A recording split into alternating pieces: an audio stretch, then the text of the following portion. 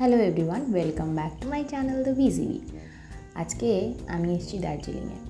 তো আমাদের এটা হচ্ছে hotel hotel Muscatel Spring Barn. তো চলো হোটেলের ভিউটা একবার দেখে নিই তারপরে আরও গল্প করা যাবে। এই হচ্ছে আমাদের হোটেলের room and this is our bed cupboards, fireplace, TV, and this is a dressing table along with a mirror. And this is the washroom.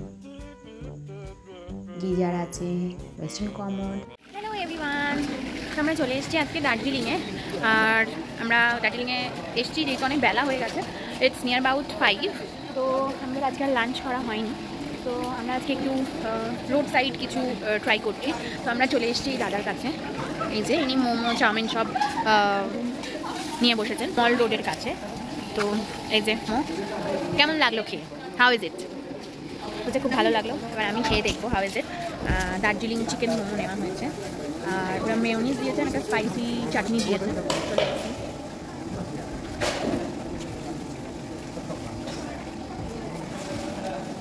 Good ভালো হয়েছে। চাটনি তো খুবই ভালো। তাহলে আমরা সাড়ে আজকে কী কী করব? বাকি টাইমটুকু সেটাও তোমাদের সাথে শেয়ার থ্যাংক ইউ আজকে প্রথম দিন যেহেতু আমরা অনেক বেলা করে দার্জিলিংয়ে এসে পৌঁছেছি অলমোস্ট পাঁচটার সময়। তো তারপরে আর চেক ইন করে হোটেলে। তো তারপরে আমাদের আর কোথাও বেশি যাওয়ার ছিল না। তো আশেপাশের দিকটা ঘুরে দেখতে দেখতে এই দোকানটা চোখে পড়ল। এটা হচ্ছে ময়ূর টি শপ। এখানে বিভিন্ন ধরনের চা পাওয়া যায়।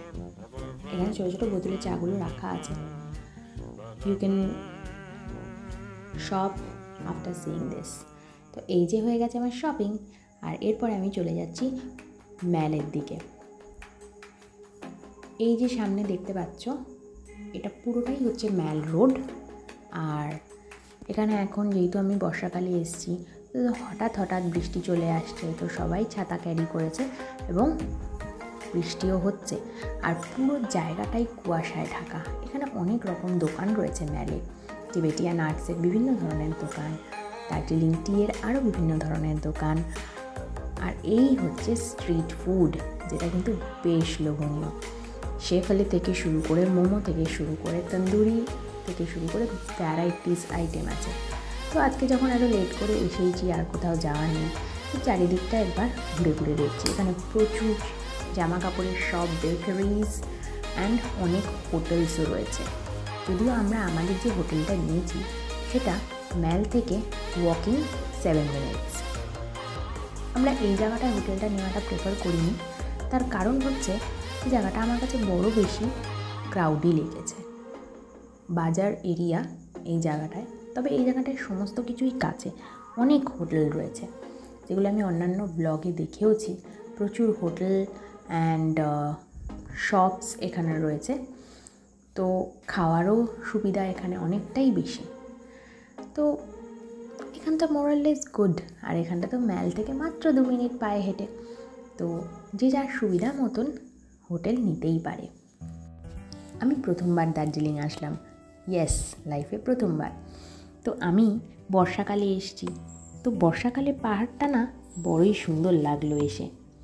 আর বর্ষাকালে এরকম হেঁটে হেঁটে বৃষ্টির মধ্যে ভিজে ভিজে বিভিন্ন জায়গা দেখা এক্সপ্লোর করা, এটা একটা আলাদাই এক্সপিরিয়েন্স তো এই ম্যালে সবাই আড্ডা মারতে আসে বেসিক্যালি তো এখন দেখো, পুরো ম্যালটা অলমোস্ট কুয়াশায় ঢেকে গেছে। আজকে স্ট্রিট ফুড দিয়ে ডিনার সারলাম। বেশ ভালো এক্সপিরিয়েন্স অনেক রাত হলো। চলো, কালকে দেখা হবে। Thank you